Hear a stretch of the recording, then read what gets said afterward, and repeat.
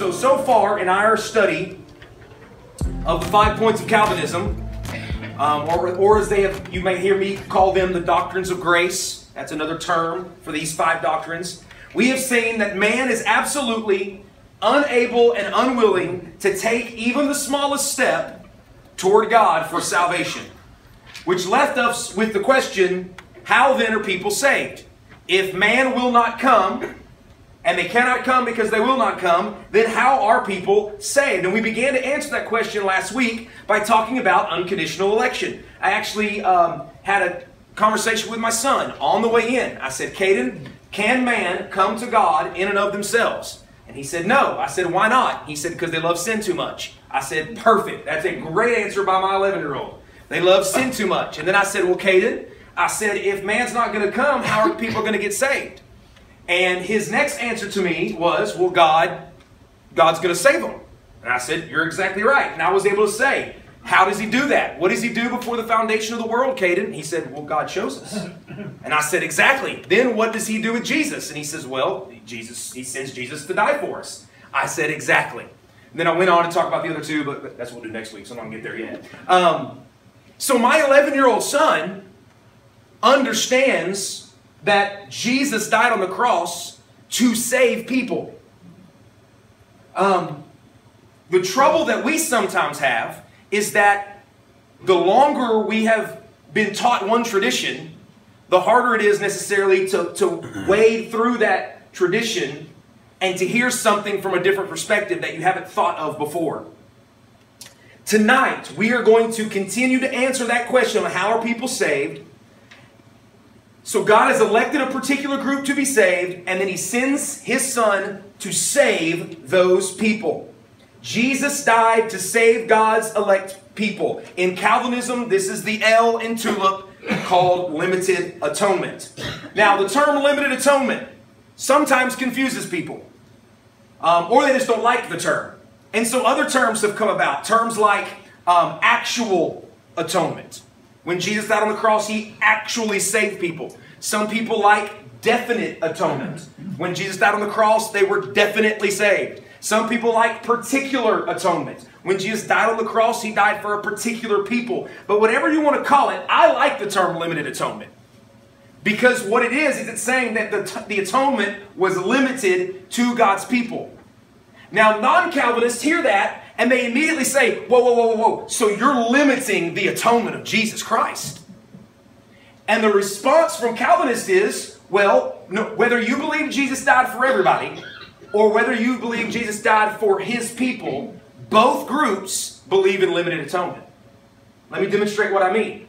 The Calvinist limits who Jesus dies for.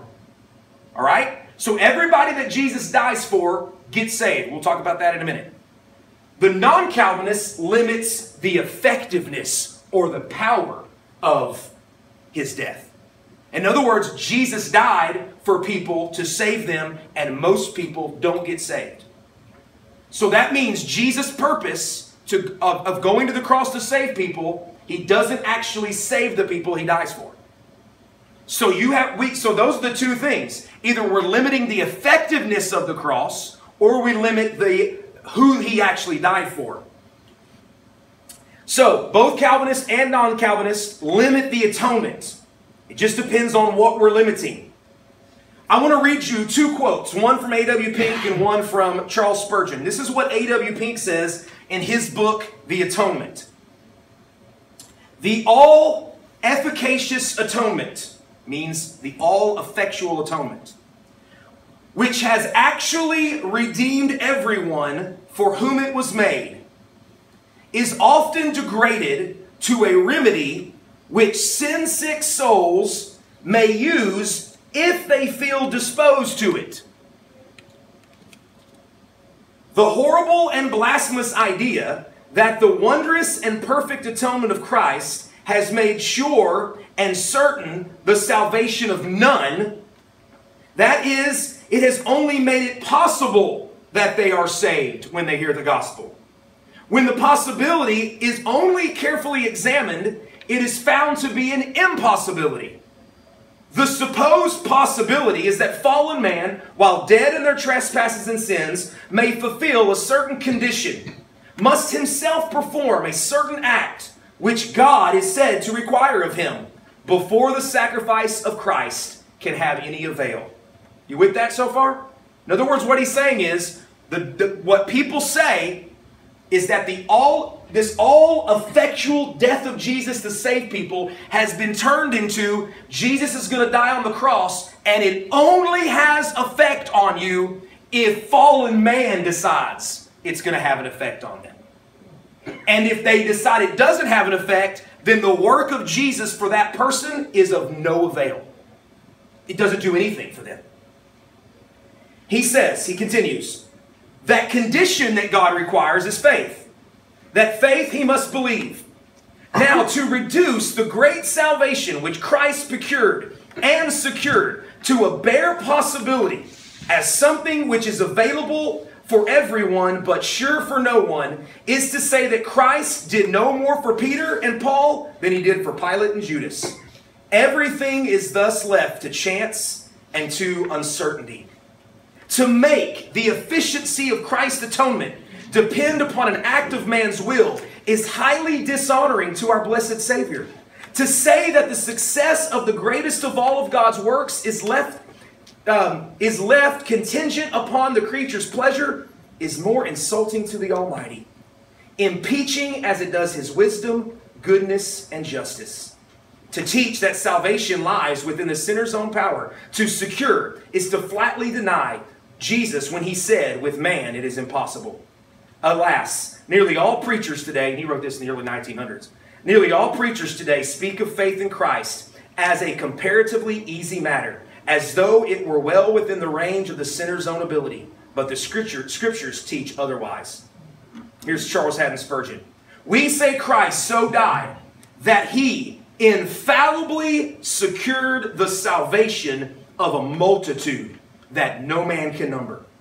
Who through Christ's death not only may be saved, but are saved, must be saved, and cannot by any possibility run the hazard of being anything but saved.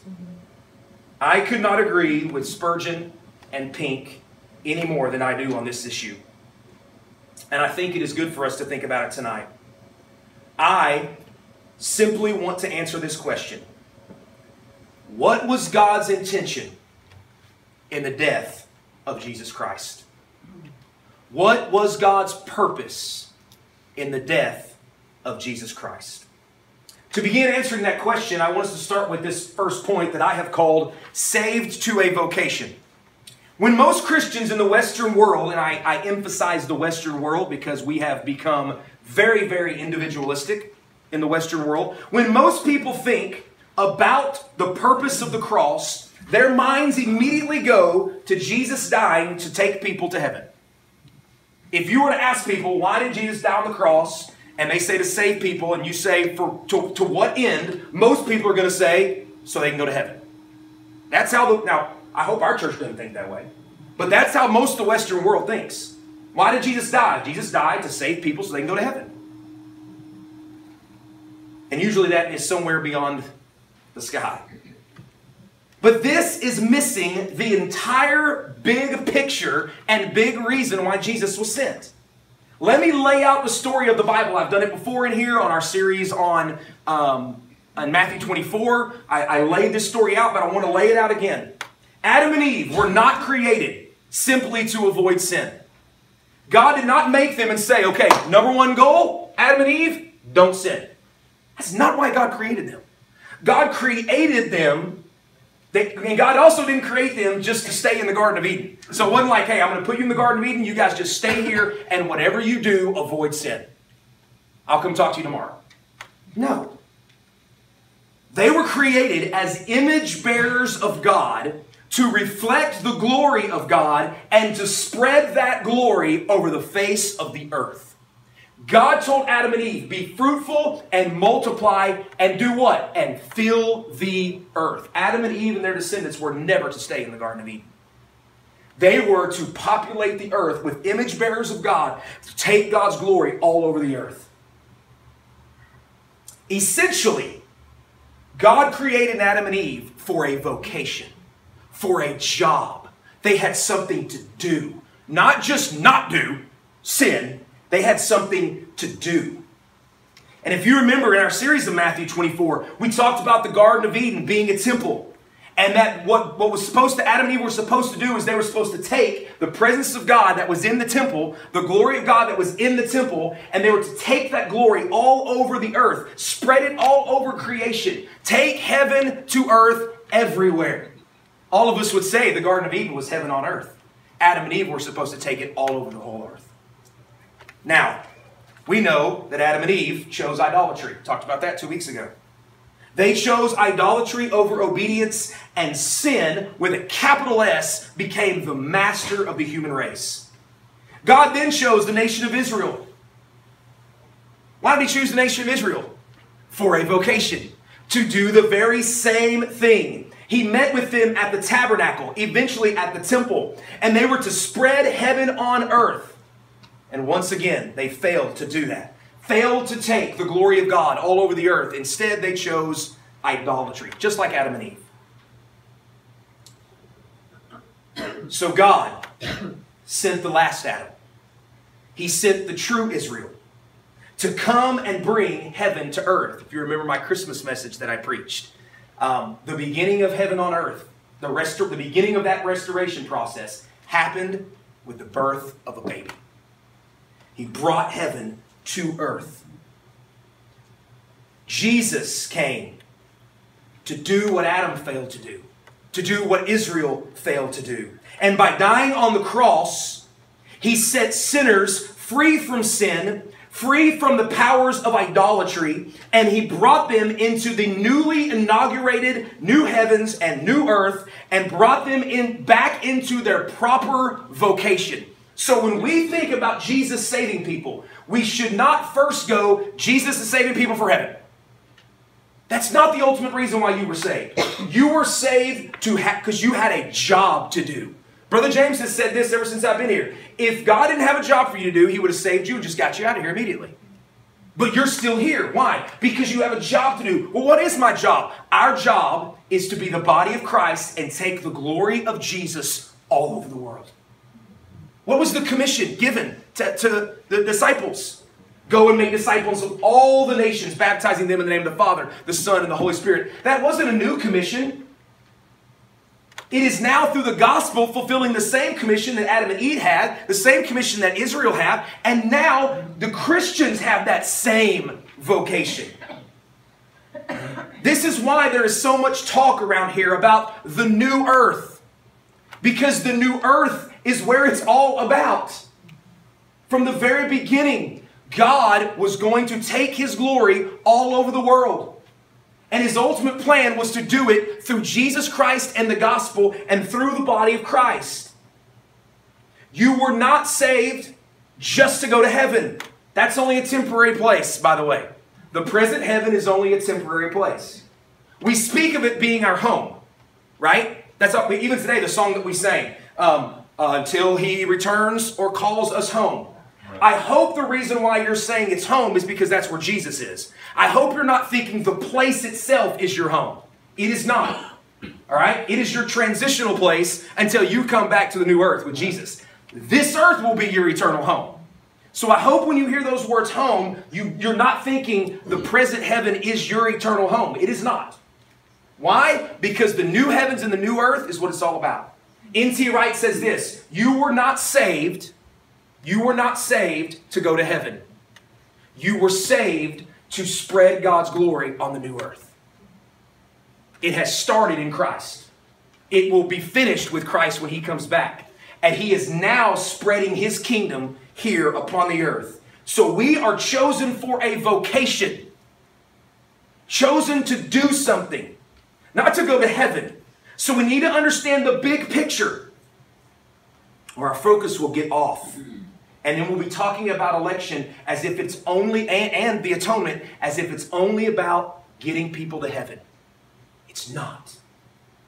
It's about spreading the glory of God and the kingdom of God and the new heavens and new earth all over the world.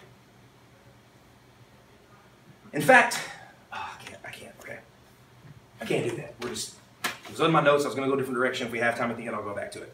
Now, I want to look at the salvific terms, okay? So if you have your notes in front of you, you see salvific terms. I know that that is not technically a proper word to use, okay? Every time I type it up on my computer, the little red squiggly lines come under it, all right? But um, it's a good theological word, salvific. That means salvific grace. We're talking about a grace that saves. So um, here we're talking about salvific terms, right? Terms that are used under the umbrella of salvation. So we can speak in the broadest general sense and say, I'm saved. But we know that underneath that umbrella are words like redemption. I've been redeemed. Propitiation. Penal substitution. Um, reconciliation. Forgiveness, which is part of justification. Sanctification. Like that all falls underneath the umbrella of salvation. So I've chosen four of the most um, talked about terms in regards to the cross, and I want to deal with those tonight. Number one is the word redemption. Okay, all of all of you are aware that when Jesus died on the cross, he redeemed people. That word literally means to buy back. All right, to buy back. This is terminology that's often used in salvation. Um, for instance, it is used in 1 Peter 1 18 through 19. It's used in Revelation 5, um, verse 9. In Revelation 5 9, it says that Jesus has redeemed a people from every tribe, nation, language, and tongue. Okay? So he's redeemed a people. He has bought back a people from every tribe, nation, language, and tongue. Now, let me ask you a question. What kind of redemption would it be in which the death of Jesus only makes redemption possible and which Jesus, those he died for, are still in bondage, and Jesus does not get what he purchased. See, we say Jesus died on the cross to redeem people. But then we turn around and we say, but he doesn't get the vast majority of what he bought, he doesn't get. Redemption and all of these terms that we're going to look at, these are not terms that make things possible. These are terms that, that actually are effectual. So when the, when the Bible says that Jesus redeemed a people, it means on the cross, he actually purchased people and he gets what he purchases. He buys them back. Well, buys them back from what? From sin being their master. That's why I said earlier when Adam and Eve committed idolatry, a capital S became their master. Jesus redeemed human beings from capital S sin. He bought them back. What kind of redemption would it be if Jesus buys them back and you stay in bondage to sin? No, when Jesus bought people, he gets what he pays for. Redemption is not mentioned as a possibility. Redemption is what Jesus did. He actually, in Revelation chapter 5, verse 9, he actually redeemed people from every tribe, nation, language, and tongue. He redeemed people from every nation, every language. He actually redeemed them on the cross. Didn't make it possible for them to be redeemed, as Pink said, and it's, it only is effectual when man's free will says, now I want it to apply to me. No. Jesus died on the cross to buy you. And if he bought you, he gets you. That's why Jesus says in John chapter 6 All that the Father gives me comes to me, and I will lose nothing of that which he has given. How could Jesus be so sure? Because he knew what the cross was going to do. It was actually going to redeem people. Let's go to the next word the word propitiation. Now, this is a word that is not as familiar to us even though the Bible talks about it. This is a religious term to mean, it means to turn aside God's wrath. To turn aside God's wrath. All of us can agree God is holy, correct? God is just, correct? So God must deal with sin. Is that true? Yes. Yes, God must deal with sin. God cannot just go, we're just going to let sin fly, we won't deal with it. No, God has to deal with sin. And because God is holy, God pours out his wrath on sin and sinners. The Bible says in Romans chapter 1 that we are all children of wrath, all right, because we're wicked and we're evil. So all human beings deserve the wrath of God because we are sinners. and God must punish sin. But at the cross, Jesus took God's wrath upon himself. Therefore, he died to have the wrath of God poured out on him because of sin and removed off of you. Okay? So God's wrath, we, we sing about it. I, was it in the song today? Yes. What, what's the what's the the wrath of God was satisfied. That's in Christ alone. The wrath of God was satisfied. Meaning, God must punish sin. Jesus came on the cross. The wrath that you deserved was placed onto Jesus so that you don't get God's wrath. Jesus got it for you. That is what Jesus meant, by the way, in the garden when he said, May this cup pass for me. That is Old Testament language for the cup of God's wrath. He's saying the worst part about what's fixing to happen is that the God's wrath is going to be poured out on sin in me. But the word means that it's been turned away from you and put onto Jesus. 1 John 4.10 is the verse that talks about propitiation. For the sake of time, we cannot look all these up. Now, here's my question. What kind of propitiation would it be if Jesus took God's wrath against sinners and then those same sinners experience God's wrath because even though it's all poured out on Jesus, it still's poured out on those sinners. That makes no sense. So, so here's Jesus dying on the cross. Let's just take Neil as an example. Here's Jesus dying on the cross. Jesus is dying for me. That means God is, is taking the sacrifice of Jesus and he is saying, the wrath that, that Neil Sandlin deserves because he's a sinner, I'm going to take it and pour it out on Jesus and not Neil. So, and we all agree that this is exactly what happens. God pours out his wrath on Jesus that sinners deserve. Now, what kind of propitiation would it be if Jesus pours out, if he empties the cup of his wrath for Neil Sandlin onto Jesus, Jesus takes that wrath, and then God looks at me and says, You don't believe, go to hell. Wait a minute. And now I'm going to pour my wrath out on you for all of eternity. What kind of propitiation is that? How can the wrath of God be satisfied in Jesus on the cross and then turn around and still be poured out on me when I, when I go to hell?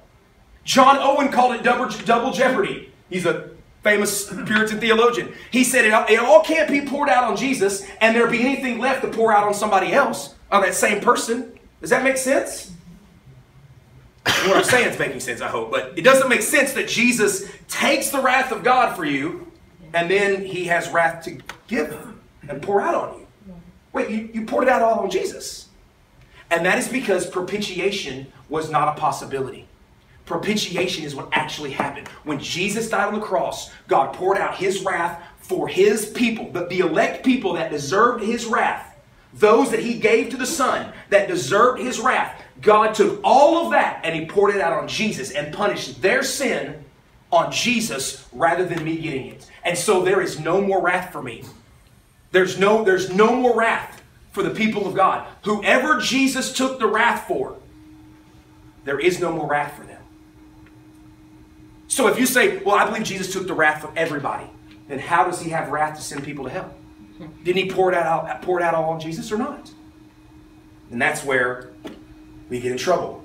Jesus either propitiated for sinners or he did not. Third, reconciliation. This means to make one to establish peace between two parties. Paul refers to this in 2 Corinthians 5 18 and 19. We know this word, reconciliation. Two parties that are against one another, and reconciliation takes place, bringing peace between the two parties and making the two parties one. What kind of reconciliation would it be in which the parties who have been reconciled are still at odds? This would not be reconciliation. So if Jesus died to reconcile me to God, what kind of reconciliation is it if me and God are still at odds? So Jesus dies on the cross to reconcile Neil Sandlin to Jesus, but then I don't actually get reconciled. I mean, reconciled to God, and then I don't actually get reconciled to God. Again, so what, what did he actually accomplish on the cross? Did he reconcile people to God or not? The Bible says he reconciled people to God. The death of Jesus actually reconciled people. And then lastly, penal substitution. Again, this is not a, um, a biblical term. It is a term that we use to, to, um, to define the biblical terms. This phrase um, means one who takes the place of another. or takes their penalty. Penal substitution. I take the penalty that somebody else deserves. Okay? When I was a kid, my dad demonstrated this with me and my sister. So my dad brings me in the room. He spanks me for something I did. Me and Andy were fighting, so I get a spanking. I go out. Julie, they were a lot alike. That's why I said that. Um, and then Julie comes in, and my dad says to her, I want to demonstrate to you what Jesus did. Instead of me spanking you, I'm going to let you spank me. And my sister got to spank my dad. Now, what kind of substitute would it be if my dad goes, okay, and now that you've spanked me, I'm going to spank you? My sister would be like, what? Wait, you just said that we were good, that you were going to substitute, like that you were going to take my place. What kind of place is it if you take my place and then I have to, I have to get spanked anyway? What good is it for you to take my place if you taking my place doesn't mean anything? We see this first in the sacrificial system of the Old Testament. The animals, right, the, bull, the, the, blood of bulls and goats, which we know never really forgave sin, they were a picture or a type. They were symbolic of that which substituted in the place of the people. All right, so the scapegoat, they would pray and ask, they would put the sins on the goat, and the goat would then take off into the wilderness. Sometimes they would actually lead it to a cliff and push it off. Just found that out this week. Usually it's like, oh, the scapegoat gets away. I'd rather be the scapegoat than the one that gets sacrificed and the blood thrown on the altar, except they would usually take the scapegoat out and throw him over a cliff so the scapegoat could never come back into the camp again. You just learn stuff new all the time. it was a shadow of the Lamb of God that was coming. I'm going to read these. I'm going to read a couple, some some uh, passages of scriptures. Over and over again, we're going to hear, "Died for us, died for us." And when you see died for us, it means died in your place. So, Matthew 26, 28. For this is my blood of the covenant, which is poured out for many for the forgiveness of sins. My blood being poured out on behalf of many, on behalf of some that deserve, right? Then 2 Corinthians 5:21, for our sake he made him to be sin who knew no sin, that in him we would become the righteousness of God. Again, there's that taking the place of. I am going to take the place of for the sake of this one. My dad, for the sake of Julie, took the punishment. Galatians 3:13. Christ redeemed us from the curse of the law by becoming a curse for us. For it is written, curses everyone who hangs on a tree. Hebrews 9.28, so Christ, having been offered once to bear the sins of many, will, be, will appear a second time, not to deal with sin, but to save those who are eagerly waiting for him. Again, it is in the place of. He died for many, in the place of, took their place, took their penalty. 1 Peter 2.24, he himself bore our sins in his body on the tree. He bore what? Our sins, took our place that we may die to sin and live to righteousness. By his wounds you have been healed. Again, that's the language of penal substitution. Poured out for the forgiveness of sin, that we should become the righteousness of God. Bear the sin, bore our sin. We have been healed. This is all penal substitutionary language. Jesus substituted what you, he paid a price I could not pay. That old song, remember? Right? I had a debt that I owed that I couldn't pay. So he paid the price for me. That's penal substitution. Again, a potentiality? It potentially means something? Or does he actually substitute in the place of sinners? Does he actually take my penalty so that I don't have to take the penalty? What good is it of Jesus to take the penalty for people that are going to get the penalty of hell? What did he actually do then? He didn't substitute for them. That's the spanking. And then my dad turning around going, okay, well, I'm going to spank you. Wait a minute, you, you just said you were going to take my place. And now I get spanked anyway? If limited atonement is not true, then Jesus did act, he did not actually forgive sin.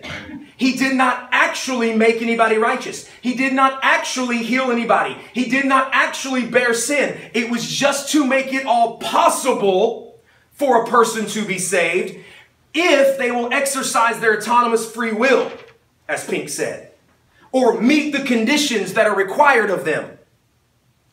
So, what we have in these terms are two choices. Either Jesus' death actually reconciled, redeemed, propitiated, and substituted, or it just made salvation possible. And who's in charge of the final determination? Man's will. Jesus dies for everybody, and then man's will is the determining factor of whether or not that death is effectual for them. Now, we don't usually think that way, but that's what we're saying. And again, listen, I spoke of Jesus' death being for every single person head for head for most of my life until I began diving back into the scriptures and, and seeing what was the intention of God by sending Jesus. Was, was the intention of God to make salvation possible, or was the intention of God to save people? Did Jesus actually go to the cross to accomplish everything he came to accomplish? Let me read you some, some explicit text, and then I'm gonna, I'm gonna dive into two of them. Isaiah 53 8. For the transgressions of my people, he was stricken. God said that. Jesus was stricken for my people. Matthew 121. You are to give him the name Jesus because he will save his people from their sins. Matthew 20, 28. The Son of Man did not come to serve, but to, to give his life a ransom for many. It's a weird word to use if it was every single person head for head. Luke 168, praise be to the Lord, the God of Israel, because he has come to redeem his people. John 13, 1. It was just before the Passover feast. Jesus knew that the time had come for him to leave the world and go to the Father. Having loved his own who were in the world, he now showed them the full extent of his love. What was the full extent of his love? His death. Having loved his, his own, he showed them the full extent of his love. Galatians 3:13, Christ redeemed us from the curse of the law by becoming a curse for us.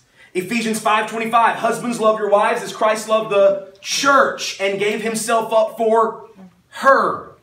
Jesus died for the church. He died for the elect. Now I want to take you to two passages of scriptures and I want to as fast as I can exegete these passages of scriptures and walk us with them. Go to John chapter 10. I will try to do this quickly. And if I feel like I need to type some loose ends next week, we might have to do part of next week on. I always set out each week to, I'm like, oh man, I have a lot of time for scripture.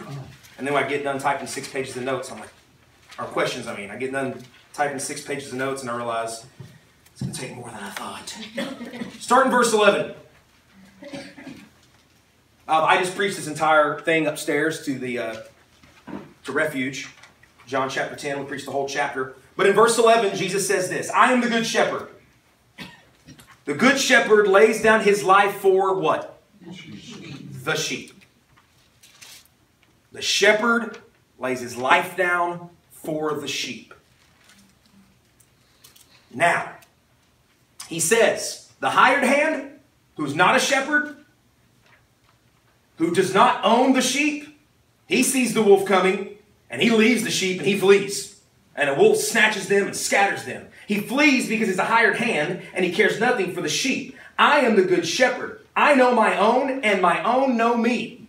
So, are there sheep that will not know Jesus? No.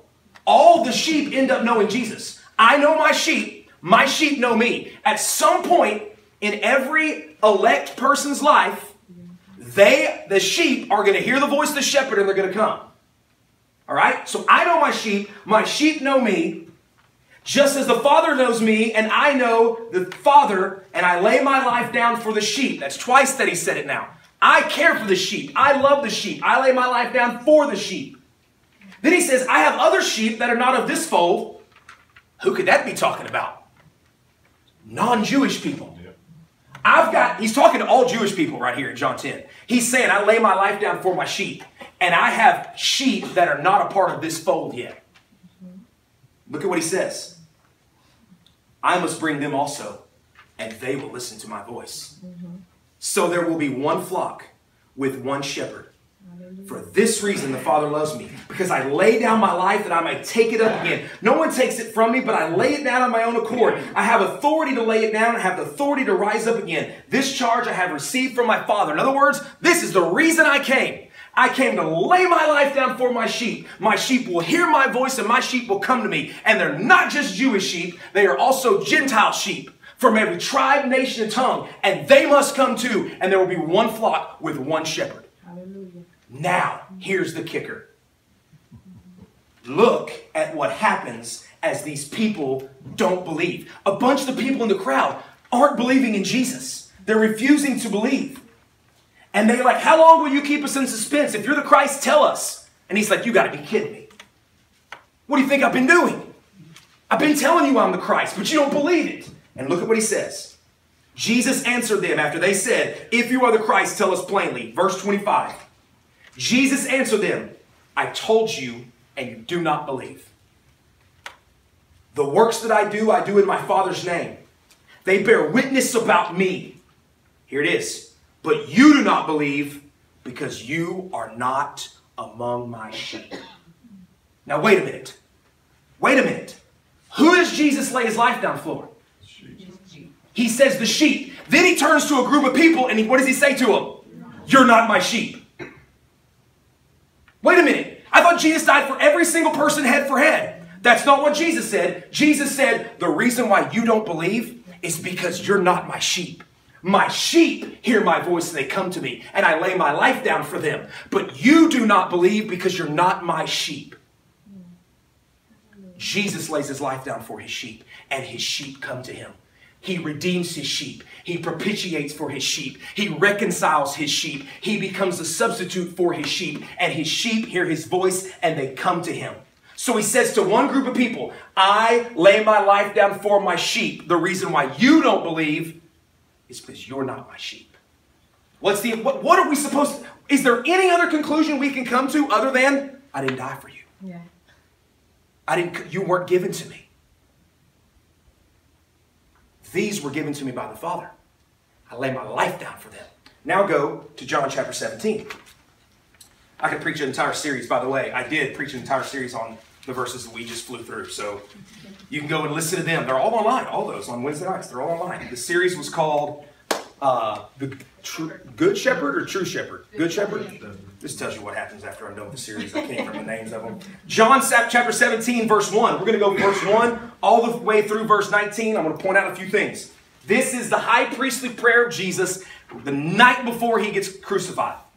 You have to keep that in context. This is the night before he goes to die on the cross. And I want you to listen to what he says. When Jesus had spoken these words, he lifted up his eyes to heaven and he said to the Father, now he's praying, The hour has come. Glorify your Son, that the Son may glorify you, since you have given him authority over all flesh. Well, that's powerful. I have authority over all flesh. And then look what he says to give eternal life to all those you have given him. Hmm. Did you catch that? To all those you have given him. And this is eternal life, that they know you, the only true God, and Jesus Christ, whom you have sent. That's another series, just verse 3. I glorify you on the earth, having accomplished the work that you gave me to do. Did you catch that? Did he come to make things possible or to accomplish something? He came to accomplish something. I glorify you on the earth, having accomplished the work that you gave me to do. And now, Father, glorify me in your presence with the glory that I had before the world existed. Hmm. I have manifested your name to the people whom you gave me out of the world. Yours they were. When were they? Before the foundation of the world. Unconditional election. Before the foundation of the world, these people were yours. And you gave them to me and they have kept your word.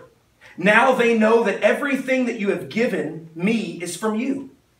I've given them the words that you gave me, and they have received them and have come to know the truth that I came from you, and they have believed that you sent me. I'm praying for them. I'm praying for them. I am not praying for the world, but for those you've given me out of the world. I, I, you listen, listen. the night before Jesus dies, he's praying for people. And what comes out of Jesus' mouth? I am not praying for the whole world. I'm praying for those you've given me. Can it, what's the focus of Jesus here? Is it every single person head for head, or is it those the Father has given me? I'm here to accomplish their salvation. I'm not praying for the world, but those in which you have given me, for they are yours. All mine is yours, and yours are mine, and I am glorified in them. I am no longer in the world, but they are in the world, and I'm coming to you, Holy Father. Kept them in your name, which you have given me, that they may be one, even as we are one. That's powerful. And I was with them, and I kept your, um, I kept them in your name, which you have given me. I've guarded them. Now, for sake of time, jump down to verse 20. Okay? Some people say, well, he's, he's just talking about the disciples there.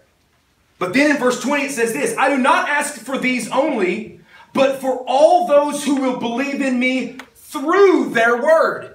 Now he's including everybody who's going to get saved through the apostles. That includes all of us. We're included in this prayer. He says, that they may be one just as you, Father, are in me, and I in you, that they also may be in us, so that the world may believe that you have sent me. The glory that you have given me, I have given to them, that they may be one, even as we are one, in them, and you in me, that they may become perfectly one, so the world may know that you sent me, and love them as you have loved me. Father, I desire that they also, whom you have given me, may be with me where I am, to see my glory that you have given me because you loved me before the foundation of the world. O righteous Father, even though the world does not know you, I know you. And these know that you have sent me. I made known to them your name, and I will continue to make it known, that the love with which you have loved me may be in them. Now, one more thing I want to point out. Verse 19.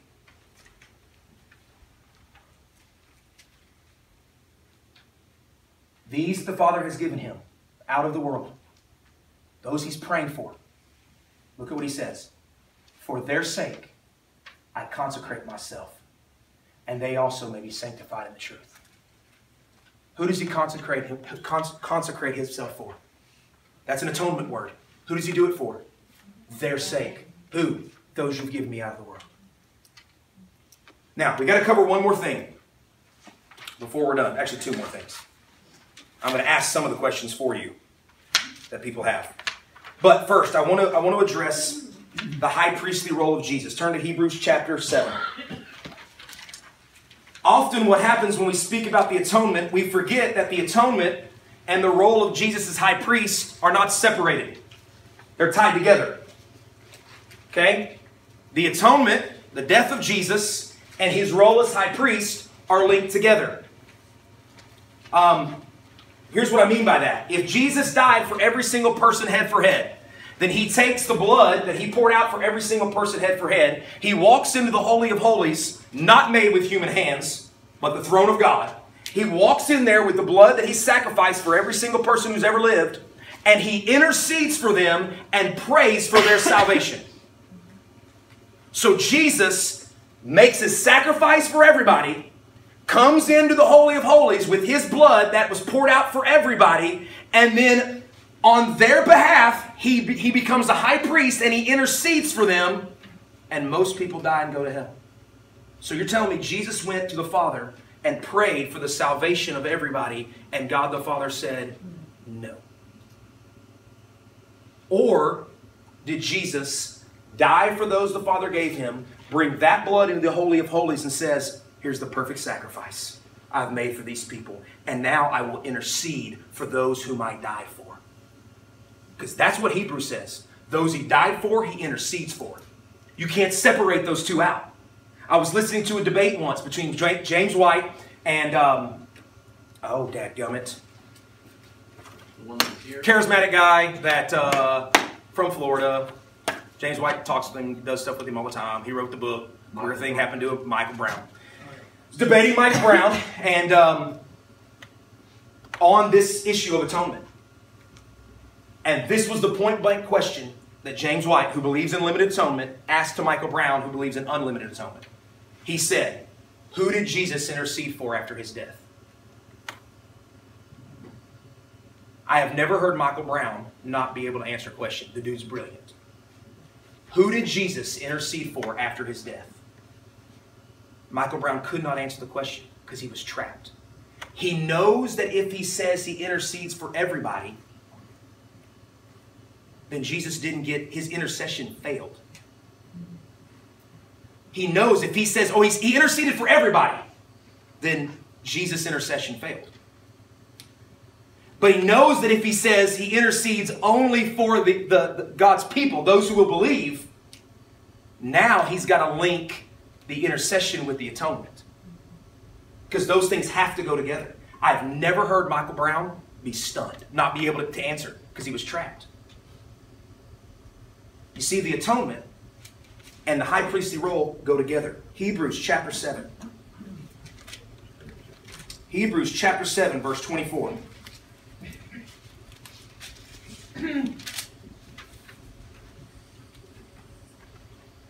he holds his priesthood permanently. Okay, it's not like not like Aaron's priesthood, where every year you got to go back. Okay, or or you die and the next person has to come over. Because he continues forever.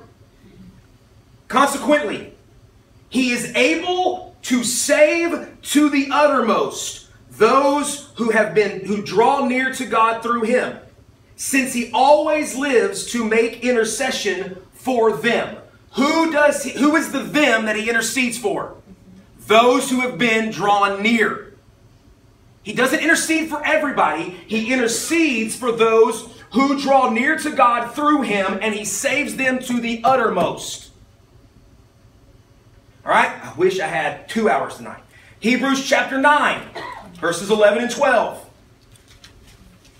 But when Christ appeared as a high priest of the good things that have come, then through the greater and more perfect tent, not made with hands, that is not of this creation, he entered once and for all into the holy places, not by the blood of goats and calves, but by means of his own blood.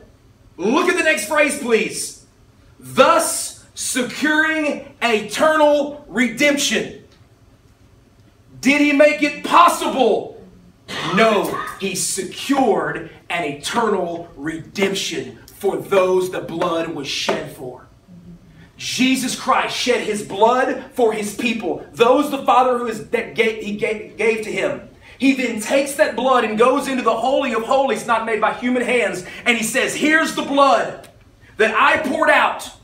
I have, I have accomplished what you sent me to accomplish. Here is the blood that secures the eternal redemption of your people. And they are all brought to Jesus. Not a possibility. He actually saved those he died for. Now, I want to answer three questions. And I got about five minutes. I'm going to go through it fast. We can go about five minutes over. It's fine. We dealt with this a little bit last week, but the Bible says that Jesus died for all. And I asked the question last week Isn't it important that we define all? Isn't it important that we know what the all means? And so I want to take you to a passage of scripture real quick, 1 Corinthians chapter 15, where in one sentence or one verse, the word all is used two different ways. In the same sentence. 1 Corinthians chapter 15, verse 22.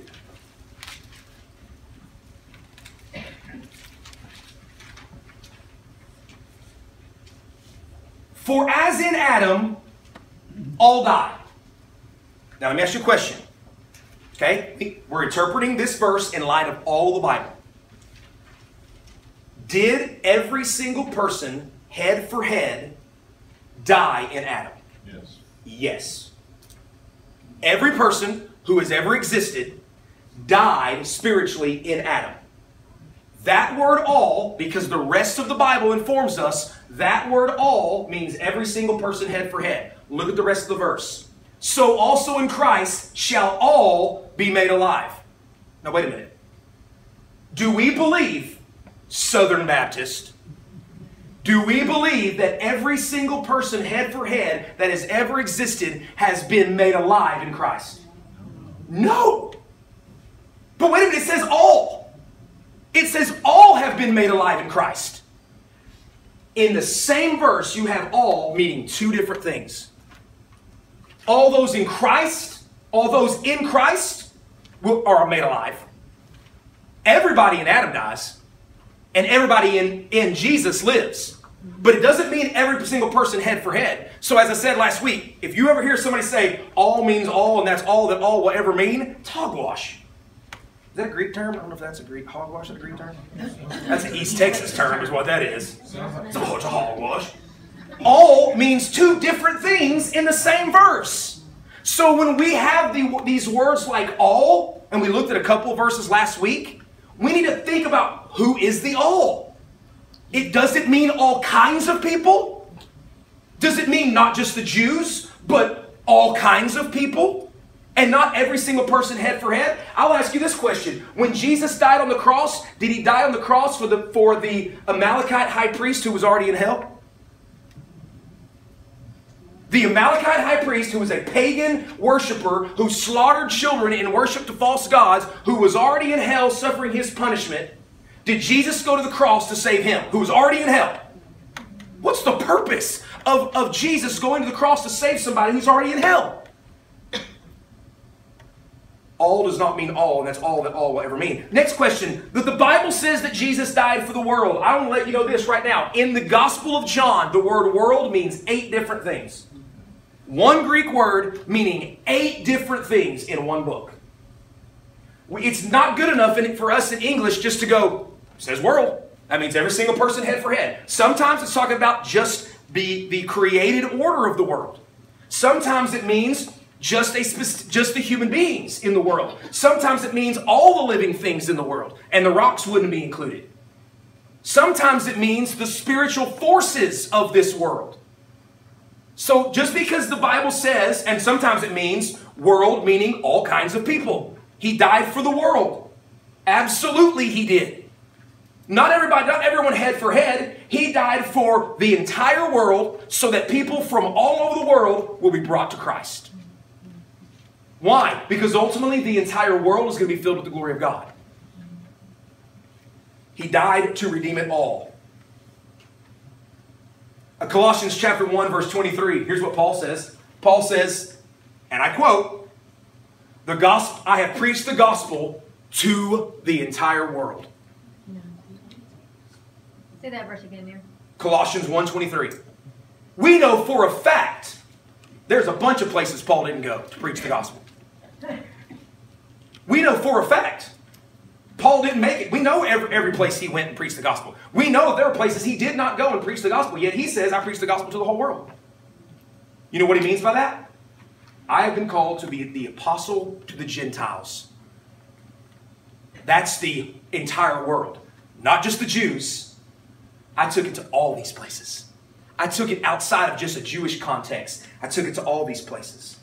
And then lastly, how could people be condemned for rejecting Jesus when he did not die for them? Right? Great question. How can people be condemned for rejecting Jesus when he didn't die to save them anyway? Je- listen, we are no one is sent to hell because they reject Jesus. That people go to hell because they reject even the little revelation they have. For instance, Romans chapter 1. Romans chapter 1. What does it say? It says that though they know God, they do not honor him as God, nor give thanks to him. And then what's the conclusion Paul says? So they are without excuse. They don't have to, they don't have to, they don't have to reject the gospel to be worthy of hell. We don't go to hell because we heard the gospel and rejected it. Now, that is one of the sins that send us to hell. We hear the gospel and reject it. But there are people that never hear the gospel who are justly sent to hell. We don't go to hell because we reject Jesus. We go to hell because we're sinners. That's what Romans 1 is saying. You are an idolater by nature. And you know there is God, and instead you worship the creation rather than the creator. So you rightly deserve hell. So Jesus dying or not dying for people is that you don't get to say to God, well, Jesus didn't die for me, so I'm unjustly condemned. Wrong. The reason why people deserve hell is because they're sinners. They're idolaters, It wasn't because Jesus did not die for them. It's because they are idolaters. And as we talked about in total depravity, what do we all deserve? Hell. If unconditional election is not true, I said this last week. If, if, if what the Bible says about the nature of man is true, and unconditional election is not true, then everybody goes to hell. Because nobody's coming freely. Why? Because men love darkness rather than light because their deeds are evil. So we're not coming. So what does God have to do? God has to set his love upon, foreknow before the foundation of the world. And then what does he do? He sends Jesus to earth. He takes those foreknown, those predestined ones, those chosen ones, and he gives them to Jesus to do what? To die for them. To what end? To save them. I lose nothing that the Father has given me. I die to secure their eternal redemption. Guys, I've said this and I will say it again in this series. Here's our two choices. Two choices. Really, it comes down to these two choices. If God the Father wanted to save every single person who ever lived, and He sent Jesus Christ to die on the cross for every single person who ever lived, and then, as we will see next week, the Holy Spirit comes to convict every single person who has ever lived. So he's trying, he, the Holy Spirit is convicting them to repent and believe so that they, if the Holy Spirit's doing that, so the Father wants to save everybody, Jesus dies for everybody, the Holy Spirit's trying to convict everybody, and most people die and go to hell, then the Trinity has failed. They have failed. They do not get what they wanted. Or, God, in His mercy, looks at humanity and says, You are all a bunch of filthy sinners who deserve my wrath and my judgment forever. That's what you deserve. But in my mercy and my grace, I will not give you all what you deserve. I'm going to take a multitude that cannot be numbered, Revelation. A multitude that cannot be numbered, that cannot be counted. And I'm going to set my love upon them and I'm going to give them to my son. And my son is going to go to earth. And when he dies, he's going to secure their eternal redemption. He's going to save them Amen. to the uttermost. And then, as we will see next week, the Holy Spirit then comes and brings those inside of time to life. We call it the new birth. He's going to come and bring them to life, make them born again. And then, as we will see the final week, and God will save them and preserve them to the very end, never to be lost, but raised up on the last day. Those are our two choices. Either God attempts and fails, or he gets exactly what he set out to do.